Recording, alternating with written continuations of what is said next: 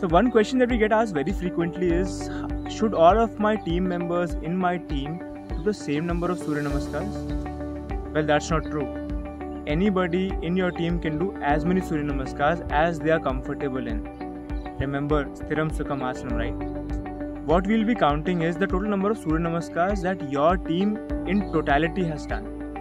So everybody's Surya Namaskars would be added and then a final score will be published.